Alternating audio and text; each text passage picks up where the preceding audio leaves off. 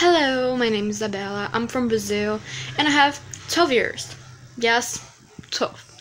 So I'm doing this audition because I love to dance and sing and rap and all because it's my dream to become an idol. So it's the reason I'm doing this.